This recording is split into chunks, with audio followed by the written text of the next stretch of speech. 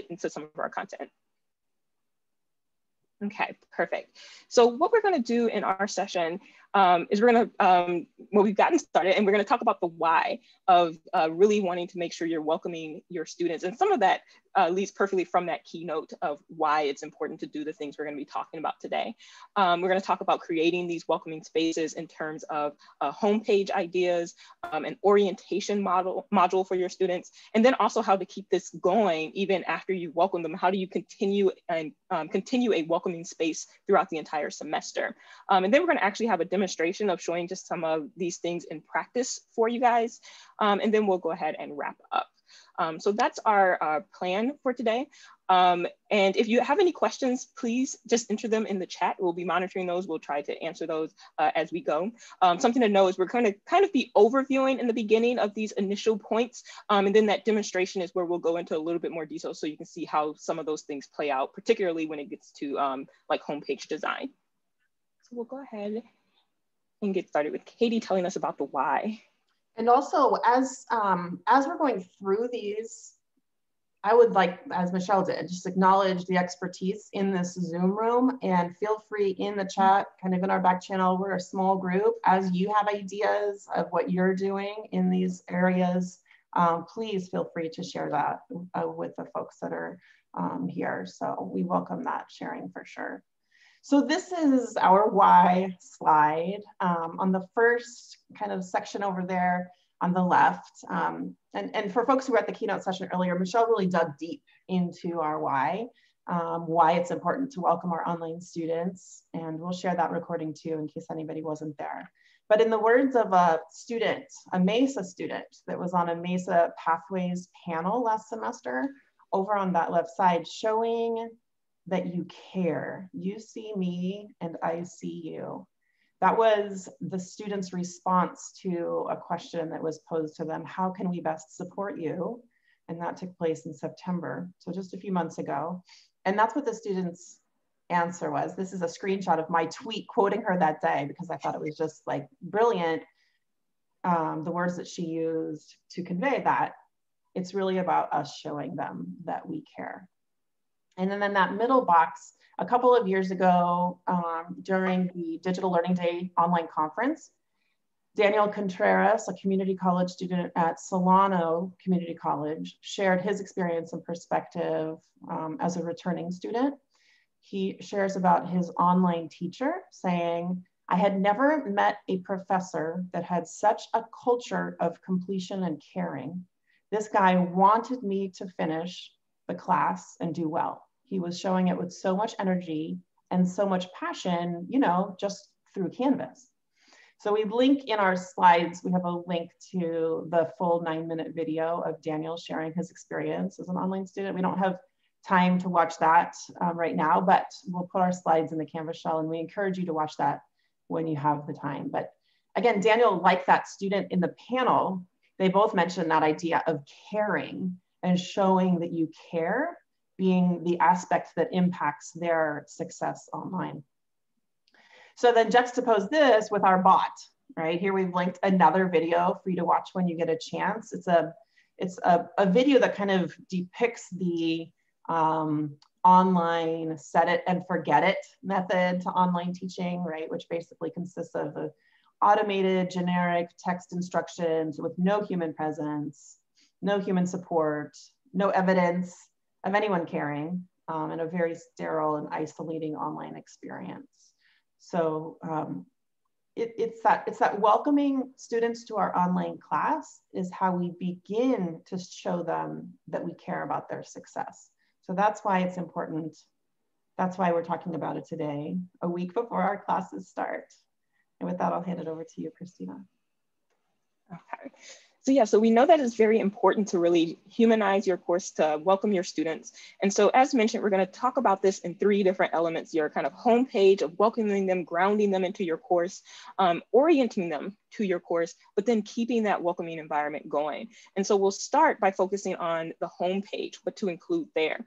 Um, and we're gonna do this by looking at three different components, how you lay out your homepage, which is something very important. It's like the first thing that students will see, right, when they enter your course.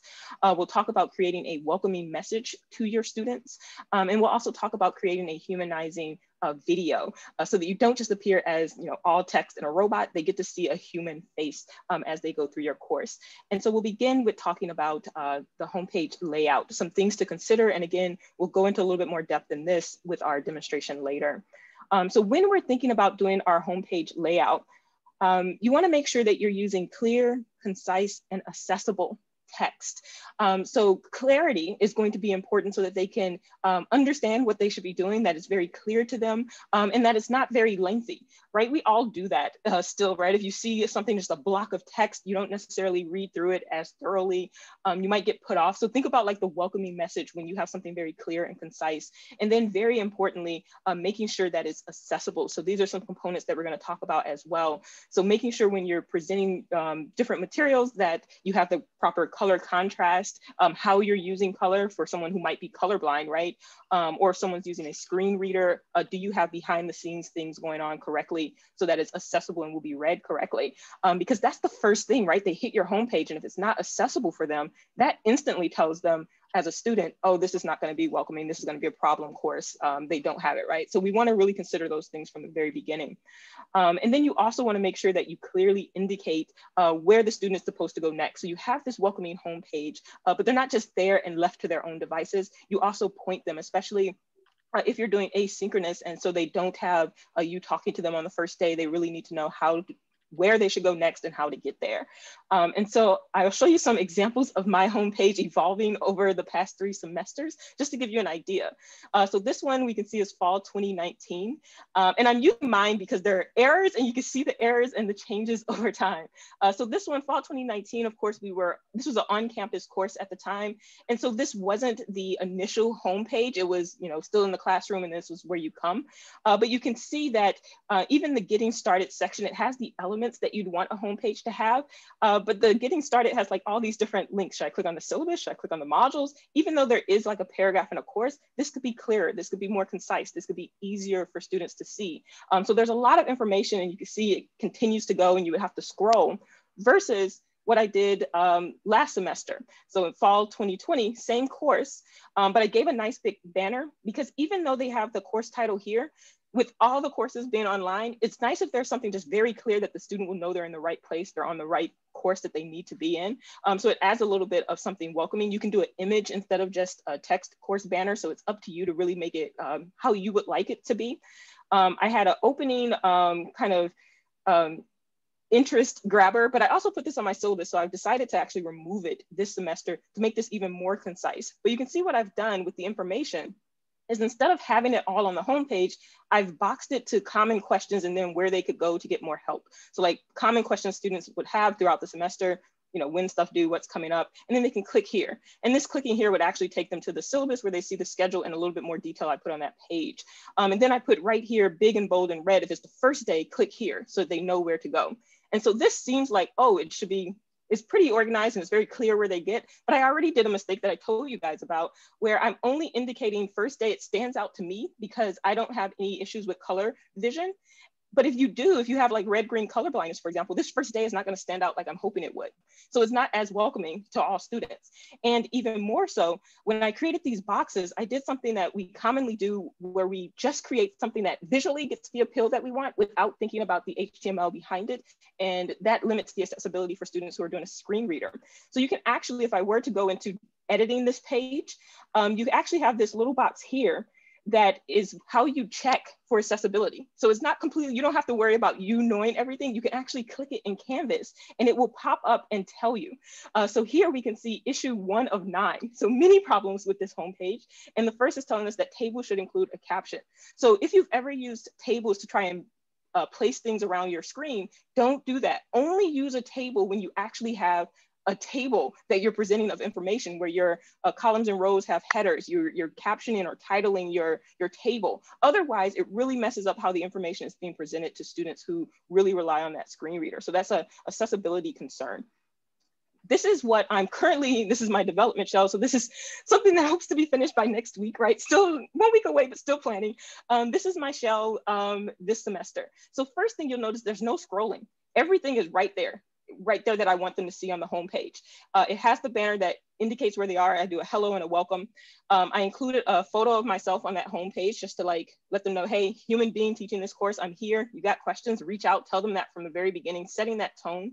Um, and then I tell them, I direct them, click a link below. And then these are the links. So it's the first day, I put that first and very clearly, and I'm not distinguishing it separate. It's the first question, just first day. Click here, and this is gonna take them where they need to go to the orientation model module uh, what's happening this week. So as the semester goes on, if they don't want to scroll through the module, they're wondering where we are, they can click here and I really develop out the syllabus page so that they can see exactly what they should be working on that week.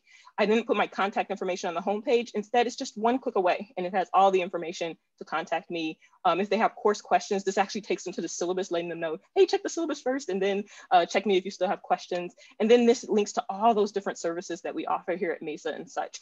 And the best thing about this homepage is very simple, very concise, clear. Um, but even better, if I were to check the accessibility checker, who doesn't want balloons and confetti, right? Letting you know that you've done it and that it looks good and it works behind the scenes as well. So we'll talk about how you can get that, how you can get the balloons and confettis on your site as well. Uh, but next, let's go ahead and Katie's gonna tell us about uh, creating a welcoming message for your students. Yes, nice. So that overall layout of our homepage can convey care, right? That's what we're trying to do is convey care and how the layout itself can convey care um, to our students, so as can the words that we use to welcome our students that in that welcome message.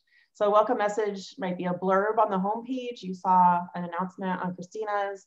It might be that announcement that gets added. You can add your announcement to the top of your homepage. Perhaps it's a Canvas message or an email. So there's several options for which tool to use. In the um, humanizing keynote, we just heard about liquid syllabus, uh, Google site. Um, so lots of tools, but the point is to actually use it to reach out to your students as early as possible to welcome them to the online space in your voice, right? And not necessarily your voice, but using your words um, and your your um, like what you authentically bring to this to the space. I think the goal here is really to tell students that you are in the right place, right? They're in the right place. Um, go ahead and go to the next slide, Christina. You can also incorporate a welcome video to welcome your students. This is a welcome um, homepage from, example from Professor Luann Gibson. So she welcomes students with this banner image that reads, I believe in you, right? Then she has a picture of herself along with an affirming message. I am here to help you every step of the way on, on your journey through the semester. Um, so this is Luann's way of showing she cares through words and images as that first impression to students. It's how she welcomes and begins building that safe space for her students. Um, and then she repeats this same blurb out to students as an announcement in case, um, so that they also receive the email notification welcoming. And you can see at the bottom there a welcome uh, video, which we'll talk about in a second too. So this is an example of just like that intentionality of telling students that they're in the right place and that, and I mean, it literally says, I believe in you, right? Welcoming them to that space. Go ahead, Christina. So next we'll talk about that humanizing video. Um, and what's great is that can go, as Katie just uh, showed in that example, on your homepage, or you can make it part of your orientation module, but it's just important to have some kind of welcoming, humanizing video um, because you wanna speak directly to them, right? Um, when we mentioned how do you welcome students in the class, in the, when we're on campus, you do something that's still interaction, right? You don't just tell them, read this thing. That's not how you welcome them, right? So you wanna still do something. Um, and so if you're if possible, do make an actual video that includes your face. Um, if you can't, if you absolutely can't, then do voice, but also include an image of yourself at least, something that connects your voice and your face uh, so that the students can see that, that being human with them. Um, and then also uh, try to think about sharing something about yourself that will allow the students to connect with you.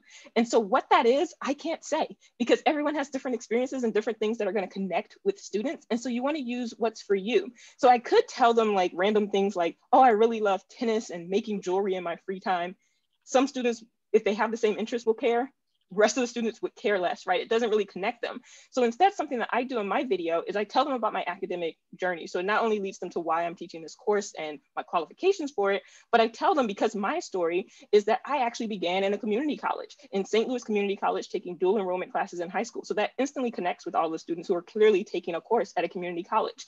And then I tell them about my progression through getting a bachelor's, going out to the real world, not just staying in academia, working in advertising, but then coming back and getting another bachelor's, my master's, and my PhD, and now being on the other end. And so then I let them know that, like, my brother and I, we were first generation college students. So bringing in that talk from before, belonging. So a lot of times if you're first generation or other um, historically underrepresented groups, it's nice to hear that someone else kind of shares that and can understand. And so I tell them not only to reach out to me with course questions, but if they have questions about their progress, things that usually would just come up in conversation if someone's been there before, but if you don't have it, that your professors are great resources. That gives them a chance to, to see you as a human as well. Like, oh, I can ask like, should I take this next course? What should I be thinking about in terms of transfer? Something like that.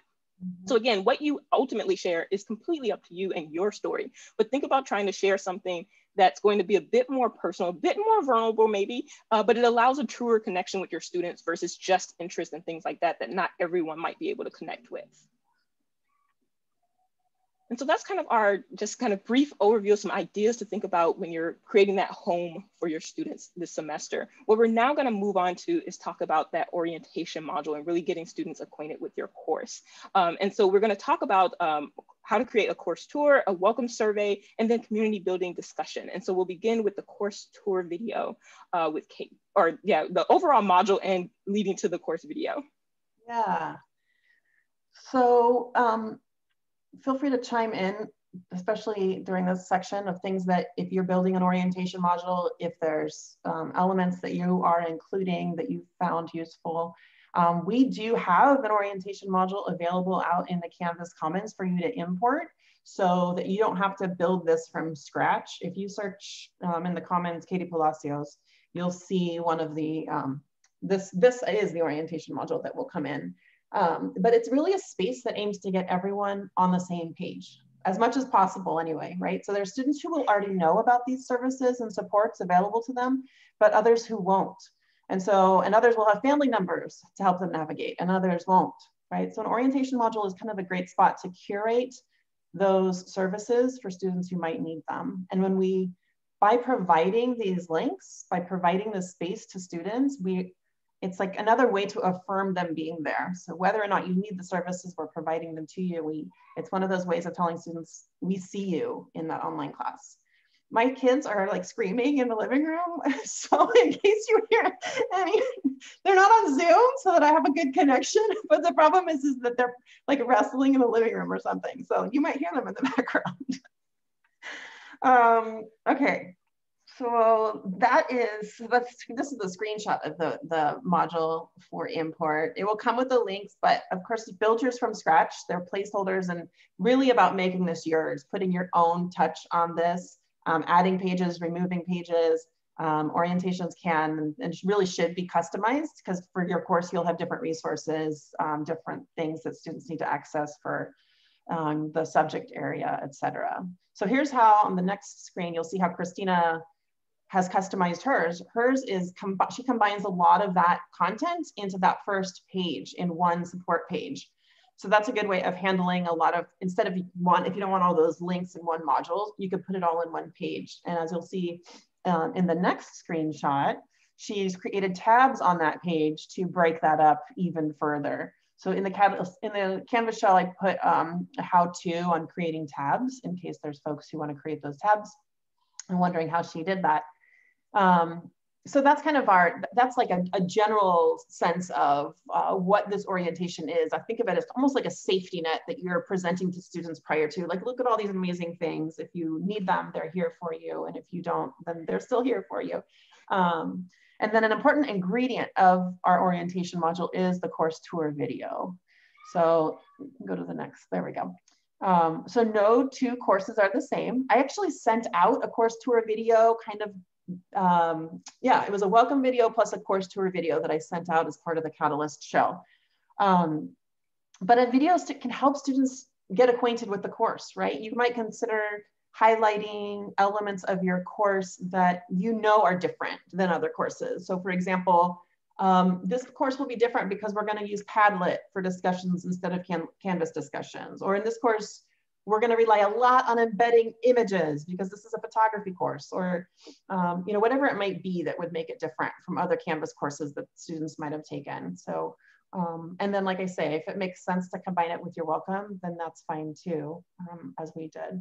So it just it, the orientation module really creates a space to share those supports with students. Um, the course tour video shows how we care about them navigating successfully and, and being intentional about saying to students, hey, I know this might be different. I know this might be new, um, but here's lots of resources for, your, for you to be successful. So, um, and another reminder that we have included several videos in the Canvas on, on building the welcome page and the, the orientation video. So if you're looking for help with that. What's next? The welcome survey. Now we'll talk about including um, a welcome survey. And you might call it different things. I think I called it in my orientation module like questionnaire upload or something like that. It's the getting to know you survey that Michelle kind of mentioned in her talk as well. Mm -hmm. uh, because if you think about your students, right, you have uh, a sea of students, uh, but you really need to get to know them kind of one-on-one -on -one a little bit, right? You don't want to just have this mass of students and they all kind of become this blob. We really need to know them individually and what's happening with them.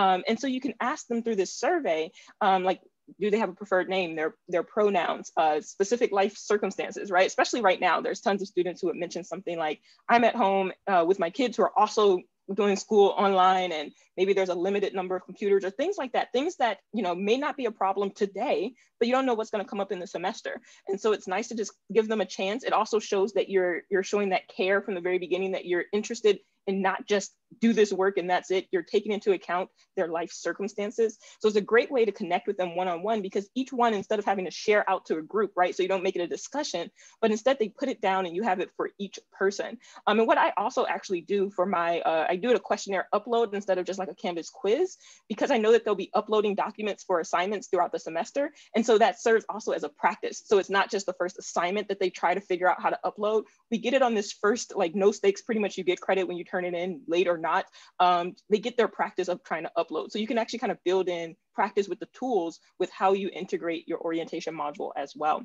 And a key benefit that I really love uh, from this welcome survey is to make use of this new notes column uh, in the Canvas gradebook.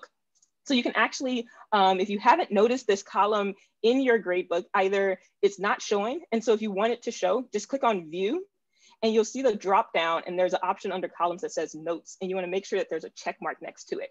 Um, because then if there is, this is where you can enter notes and the students cannot see this. This does not show up on their end when they view grades. And so you can put like their preferred name, uh, you can write more. So this was like a longer note. They may need extra time for blah, blah, blah. And I just did this um, with just so you can see how it looks. So it's an ellipsis and then you would click it and it would open a whole big box and you see that full note.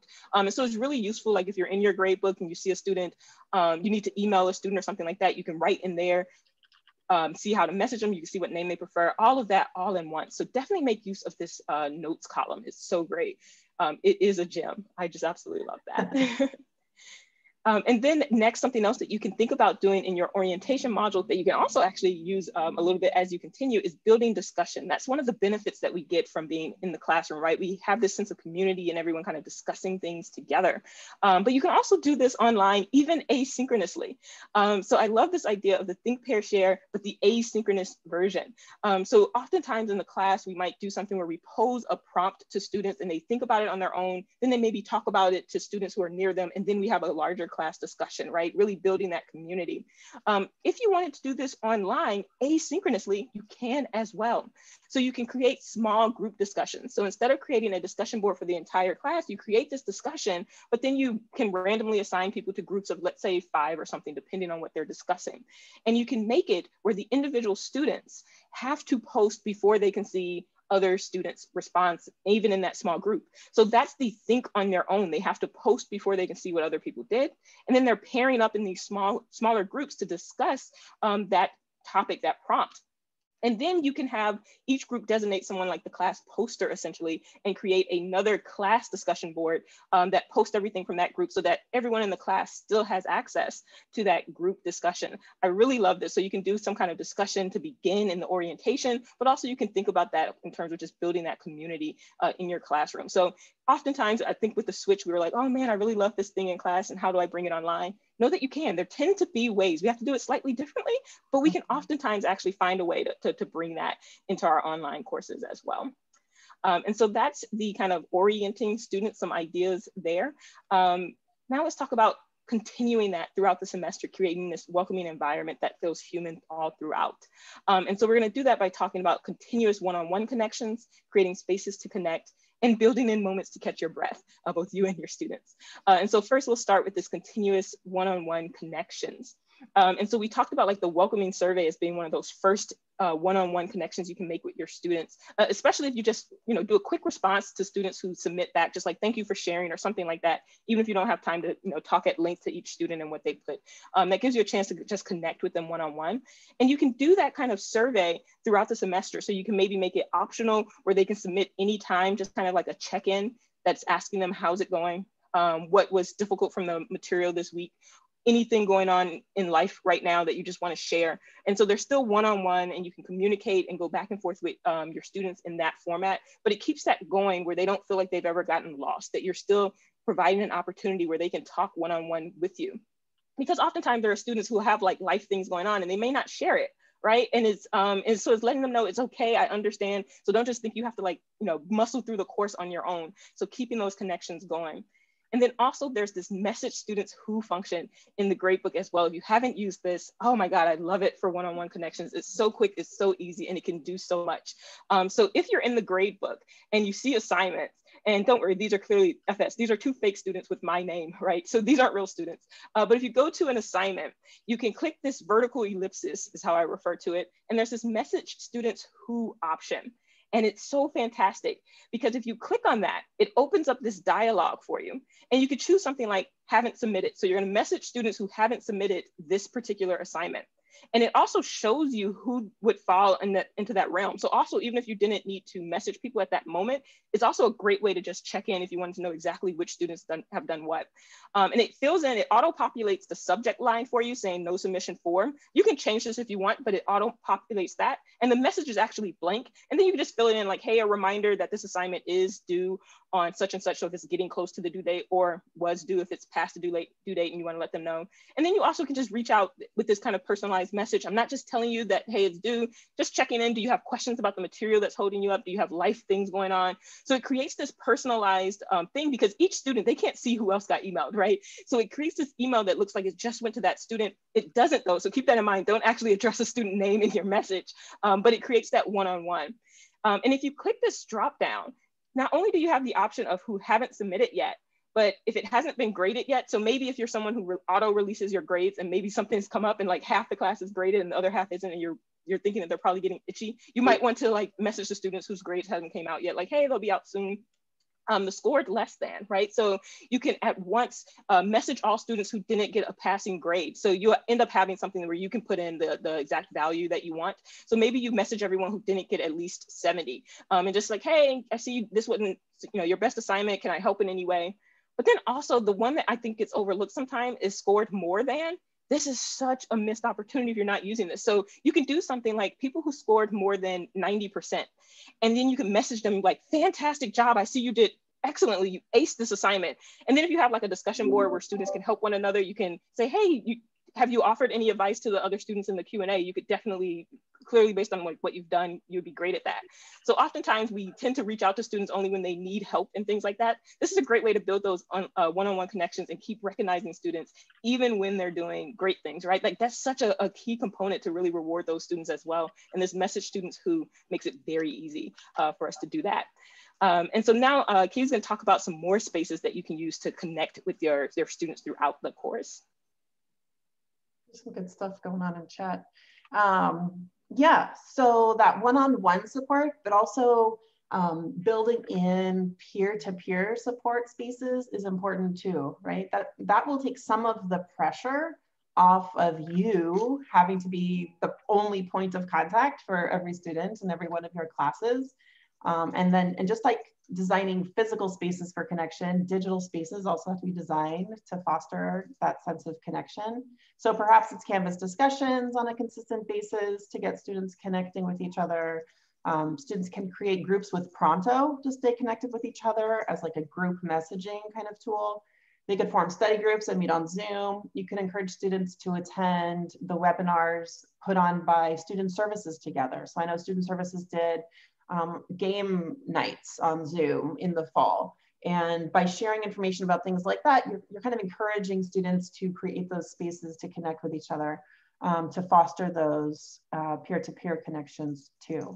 So however it, however, there's lots of different ways to do it, but the, the, the point is to just make the space so that you are doing it, um, so that students know that that's important um, to you as well. And then the next one, ongoing moments to catch our breath, is especially now, especially given the circumstances that we're in um, now, right, is really building in ways to catch your breath. So this is kind of a moment for us to catch our breath. Um, you can build these into your sessions too, build these into your courses. Um, a great tip that was shared in Teaching Tree last semester was to schedule a catch-up week halfway through your semester. This won't always be possible, I know, but um, if you can, to just create the space to allow your students to catch up, to allow you to catch up, um, kind of intentionally carving out space where there might be. There's other ways to kind of build in space and build in grace. I know Kara Smulowitz uses the late pass policy, where I think for two assignments, she allows students to submit late, no questions asked. So they, if they're submitting late, they're saying I'm using, I use in the comments field, I think they say I'm using one of my late passes for this one. Or dropping the lowest quiz score, for example. So there are ways that we can give students some grace and, um, and build in ways for them to catch their breath. I also noticed in the humanizing keynote with Michelle, she mentioned she had like a success plan on her liquid syllabus. And it was like building in, she had like a Monday through Friday kind of a weekly plan that if students followed, and, and part of that weekly plan was the weekend, like have everything done so that the weekend can be about disconnecting and getting offline if it's possible. Um, so to build that in as a way um, that would work with the due dates that you do have set. So it's not always possible, but if we can find spaces to do this, I think it'll be, um, you know, a, a healthy thing to incorporate into our online teaching for our students and for ourselves because it's a lot. It is a lot, and it's really hard to do this. There's some good stuff. Dropping lowest quiz score, yes. Any other, we're, we're, we're open to ideas that you have here. I feel like this is where we could um, really share some good ideas on how to create that space and grace for our students this semester. And I think this transitions us into the hands-on element to give you guys a chance to touch up your home page. Yeah, we're gonna show you um, again how to check accessibility, how you can, uh, if something comes up, how you can deal with those. Uh, we'll go over just some very basic editing if you haven't had a chance to look at the new rich content editor, um, some tips and things about inserting uh, links, um, external but focusing on like within your Canvas course links, images, YouTube videos, uh, division line. And then if there's time, I really wanna show you just some basic HTML. Uh, oftentimes we, we scurry away from it because HTML, if you haven't done it, it's just a block of text and it looks scary. Um, but you don't have to know HTML actually, you just need to know how to copy and paste and edit stuff. So we're gonna, we're gonna talk on that if, there, if there's time. So I'm gonna switch over um, and actually bring up just a demo page. Um, that I can use to walk us through. Sorry, give me just one second. I'm gonna pull that up.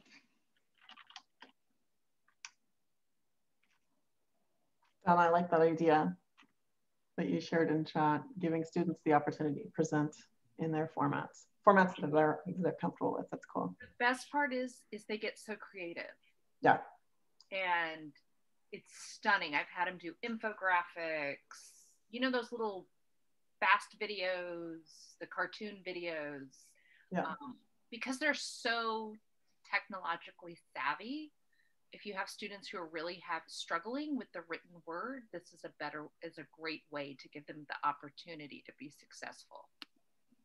And to show off their, like you say, creativity. Right. So here I've just created a, an extra page just to demo some of these things. And I'm just gonna be going through really quickly, just kind of touching the surface and showing you these things. Uh, but do, if there's questions or if I need to repeat something, put that in the chat. Katie will stop me in my tracks and I can address that in a moment. Uh, but know that I'm just kind of giving a quick overview in the, the little time that we have of some of the things that we touched on that you might wanna try to include in your homepage. Um, and so you should be able to hopefully see um, my um, uh, Chrome window. And then there's also this other window, the image we're gonna drop in is a smiley face. So that's just why that's there. Okay, so here I just put some basic text to get us started so that we can see it. Um, so you might have welcome, uh, you might have a header and some text, another header, another section, some text. So some of these tips are gonna be really useful because not only can you use it on your homepage, but general pages uh, that you create as well. So I'm gonna go ahead and click on edit uh, to edit this page. And so we can start with if you have like the welcome, of course, so the a new rich content editor, you can easily just highlight it um, and you can change, um, you know, the font color and things like that. If you want, you can increase uh, the size of the text, things like that. So this is pretty much uh, stayed the same and it's kind of familiar to us from other like um, word processing applications and things like that. But a few things that I'll mention is, let's say you wanted to have a header. Oftentimes something we'll do is this is the header for this body text and we'll maybe just make it uh, larger and so then that's our header. It stands out as visual. However, this is something, if we were to try to check it on the accessibility builder, so let me change this uh, highlight because that's gonna be a problem, red and black text. um, so let me just remove that. Or I'm just gonna ignore that then.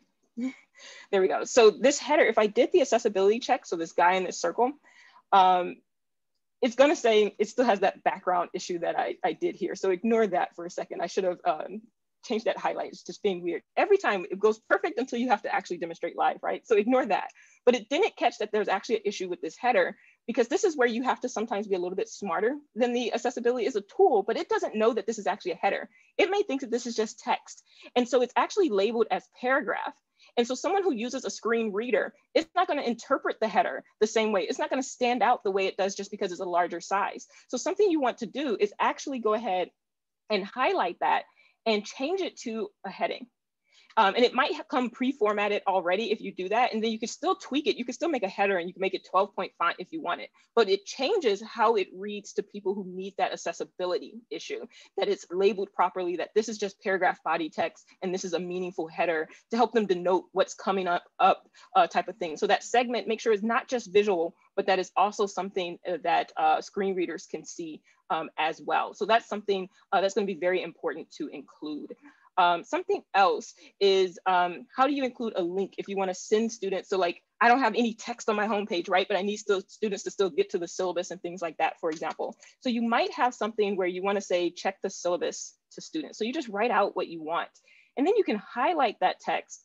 And how you create an internal Canvas link is you would go to that insert menu and you would go to link.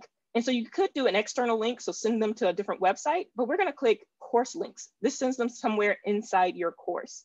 Um, and so then you could have sent to a specific page, specific assignment quiz, or in this case, course navigation, and I'll choose syllabus. And so there we can see it just turned it into a link.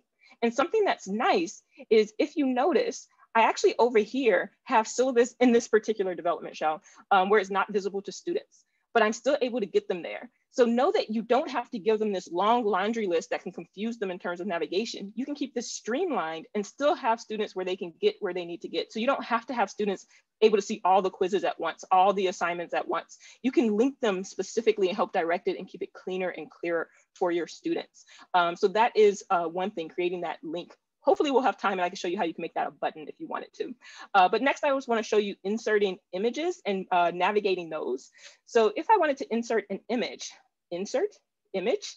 Um, and you could choose from user images that you have in your general Canvas account, course images that you have saved just within that course, or upload an image that's not anywhere yet. And I love that it's now just drag and drop. So I can go to my uh, Finder window now and I could take this image and I'm just gonna drag it and drop it here. And also what I love about this new thing is it automatically has it very easy for you to enter alternative text. So you can type something that describes the image. And you always should do this because again, screen readers, if someone can't visually see this image, uh, but it's meaningful and they need to know what's there, describe it to them so their screen readers can read it. If it's something that's purely uh, just there for kind of show and it's really not important, you can click it and make it a decorative image. And that kind of grays out the alt text is gonna uh, be um, properly kind of skipped over or handled in the screen reader. Um, and then you can click submit and it will enter that photo right there. And we can see it's very large, right? So we can click on it and just drag it down to size if we want. Um, but you can see it also does weird things with your text, right? So something that you can do is if you click on that image, so if you have it highlighted, you can click this alignment and you can choose to align it to the left and that's gonna actually wrap the text around that image. So that's an easy way if you ever wanted your text so that your image isn't just, oftentimes you might uh, feel like it's stuck being like centered in your text is underneath it but you can actually just change the alignment. And again, you're not highlighting the text, you're highlighting the picture, the image that you have and doing the left alignment and that aligns the text next to it. Um, and you can see that the text actually bumps right up against it. Um, and yeah, you could do it right or left, absolutely. Um, and the text bumps right up against the image, especially since this is a PNG, so there's no white space border, it just ends at the circle. I'll show you two ways, if there's time, how to get around that and add a little bit of space. Uh, one's a bit of a hack that some people do, and another is using just a little bit of HTML um, and so it's accessible and you have full control over that space. Um, but before we do that, I wanna show you also inserting a YouTube video really quickly. Um, so you could do insert um, and you would end up doing embed is what I recommend for a YouTube video versus a link, especially if you want it to show in that Canvas page. So you can click embed and you need embed code. So how you would get that is you would need to go to the YouTube video. So this is just a lecture from uh, last semester. You would click share and you would click that embed, and this gives you all the embed code that you need. And so then you click copy, and it will copy everything for you to go back to your Canvas page and just control V or command V to paste it. And so then you could go ahead and click submit and it's nicely embedded into your course. But here's a trick that I'm gonna show you because if you hit play on this video um, and then you hit pause, you see these recommended videos that come up. I remember once I did this and it was like, I like like to watch stand-up comedy. Stand-up comedy came up and i just went down a rabbit hole of stand-up comedy instead of staying focused on the course right? So there's actually a way you can prevent these suggested videos from coming up uh, in the middle of the video or even at the end and it's just a slight tweak to the embed code. So i'm going to click on this uh, video and just delete it and i'm going to do the same thing. Insert embed and i'm going to paste that same code but here's the thing that saves you you have you look for the URL. So where you see SRC, that source information, and then you have the HTML, that URL is in quotations. Go to the very end of that URL, um, but you're ahead of the quotation. So you're at the end of the text, but inside that quotation mark, and you're simply gonna type question mark, REL, all lowercase, equals zero. And so maybe Katie can just put that in the chat as well so you know. I'm just adding question mark, REL equals zero. And then you click submit. Is there a and it looks the same. I'm sorry? Is there a semicolon or I put a semicolon in there. Maybe there's no semicolon. No semicolon, no semicolon, okay. just the zero. And then it'll be the quotation. And so you have it and it looks exactly the same. But when you click play, it won't let me play this with the embed code when you're in the edit. So I would just have to save this so I can show you how it actually plays for students. So now if I were to click play of this video, it starts playing, I hit pause, it just pauses on the video. There's no related videos that come up. When a student mm-hmm. finishes the video, there's no recommended videos at the end. It doesn't distract them. It's an easy way, just add that little bit of code. There's no distraction to the videos for students. And so you just recommend that they watch it in Canvas. They can click full screen from within Canvas, but then you're able to control it so that there's not those distractions um, anymore. Um, and so that's a nice trick if you have videos um, in your, in your um, page. Another thing, I had this other section just to show you that they added something with the rich content editor that you don't have to do through code anymore, and that's insert a horizontal line. And so that can create a nice division if you're trying to add these uh, spacing elements as well. And this is going to be um, accessible in H HTML proper. Um, so that's another great way to do that. Um, and then you can also um, modify like the size and stuff like that, but we're not gonna get into that here just to show you what that is. Um, and so we're actually um, at our time. if you guys had five more minutes, I can show you really quickly the, the button and how to fix the the image spacing, but I don't want to hold you guys because we can go to the wrap up. So if you guys can just very quickly um, in the chat, let me know if you want to see those very quick things that you can do, or if you want me to end, I could totally end there as well. but I want to be up the wrap slide. We can do the wrap slide, and then maybe maybe people can hang out later if they want to see that extra stuff. You want to do it that Okay, way? Okay, perfect. Yeah. So let's go back to the, the wrap slide and then I'll come back if you want to know. I can show you how to change this link into a nice button for you um, and how you can space things out on your page without using tables. It's, trust me, it's so easy. It's so worth it. Stay around. Um, but let me switch back to our uh, presentation. That's awesome. So the only, I mean, the, the the wrap for us, our last slide is really just to continue the conversations. Um, pull up those those slides, um, Christina. We don't see them, but it's fine. We don't we don't need that left. I forgot to Oh, put there we go. There we go. There Yeah. Um, so we have the just a reminder we have got the Padlet the Padlet the Catalyst Padlet for day one. So whatever touching up you did or are going to do um, on your homepage, make sure to share it um, on that Catalyst on the Padlet before midnight tonight. So that's for that opportunity drawing. Um, hopefully you have access to the Catalyst Canvas shell. Teaching Tree, there's the link to the Teaching Tree, which is a space where these conversations can continue throughout the semester. So we actually, the Loft um, just sent out the email for call for facilitators for the Teaching Tree. It'll be a space to have weekly Zoom sessions like this where we can share ideas and get a little bit of hands-on um, with colleagues as well. Stay tuned for Design to Align. That's gonna be our um, eight week kind of uh, faculty inquiry groups. So we're calling them FIGs and faculty can work together on aligning courses to um, OEI course design rubric, the Peralta equity rubric.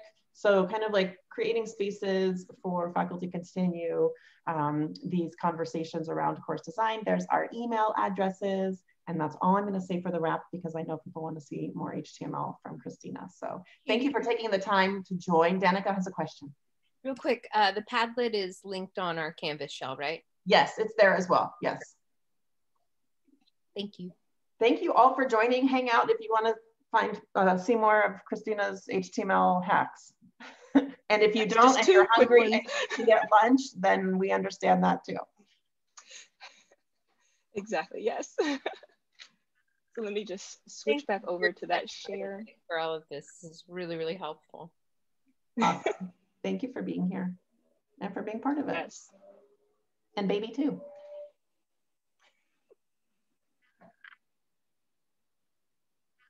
He's working hard right now. so cute.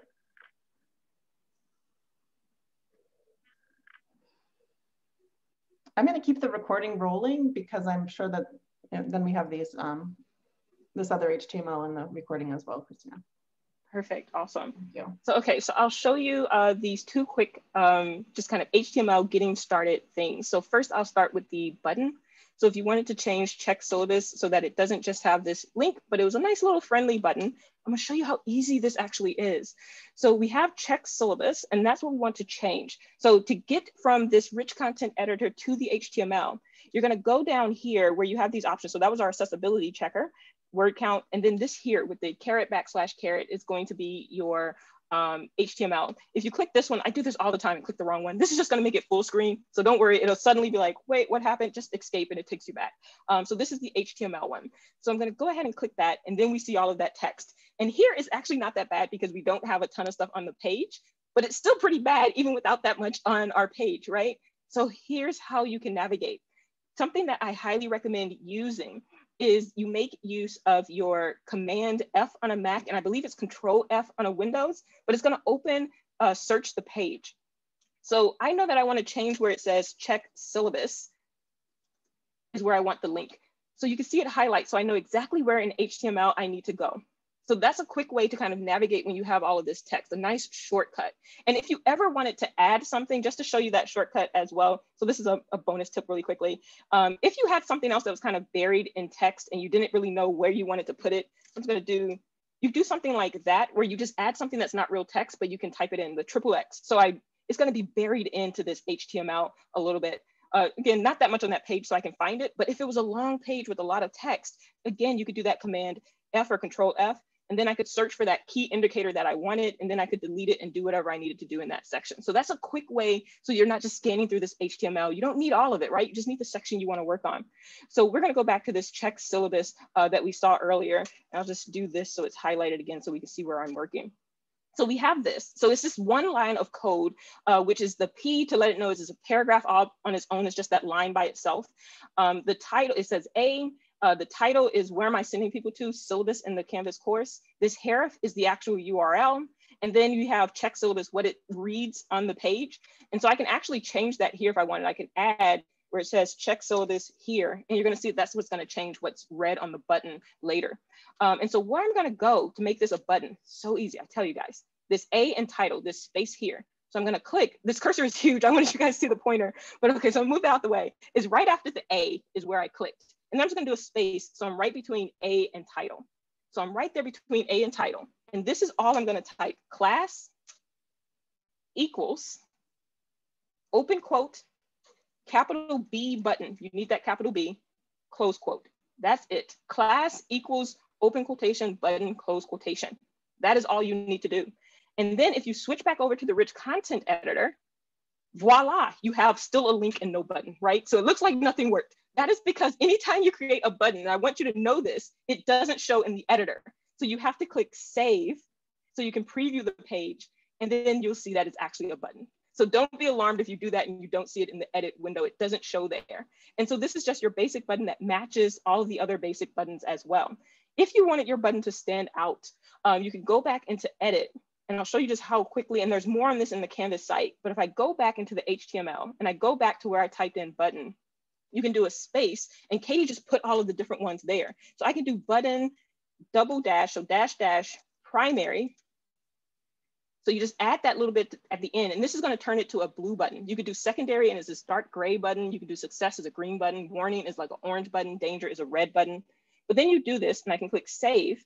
And if we go back and look, now is a blue button that stands out. So very quick, very little, right? So you didn't need to learn all of HTML. You just need to know how to do the search and find, get where you need to go. And you just add that little bit of code and suddenly you have a button here right?